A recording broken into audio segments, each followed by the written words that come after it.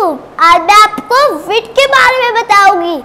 जैसे कि आप देख सकते हैं, हमारे पत्ते हिल रहे हैं तो ये हवा से हिल रहे हैं। और ये देखिए, अब ये पेड़ भी हिल रहा है तो ये हवा से हिल रहा है तो इसे विट कहते हैं। अब मैं आपको एयर के बारे में बताऊँगी। एयर को ना आप चख सकते हैं, ना देख सकते हैं, ना आप उसे टच कर सकते हैं। एयर को आप सिर्फ़ महसूस कर सकते हैं। की डिफरेंट गैसेज होती है। एयर की वन इम्पोर्टेंट गैस होती है, वो होती है ऑक्सीजन अब मैं आपको स्पेस के बारे में बताऊँगी। जब आप एटमोस्फेयर से 600 किलोमीटर दूर चले जाते हैं तो वहाँ होती है स्पेस स्पेस में ना एयर होती है।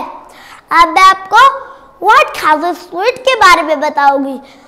जब सूरज की किरणें एक जगह पे, एक हिस्से पे आती है तो वो होता है हॉट और साइड वाले होते हैं कोल्ड जब वो हवा तेज़ी से ऊपर जाना शुरू हो जाती है तो उसे ब्रीथ एयर कहते हैं और साइड वाली एयर उस हवा की कोशिश, उस हवा की जगह लेने की कोशिश करती है तो वो होती है गेल एयर अब मैं आपको कप्रेस चेयर के बारे में बताऊँगी।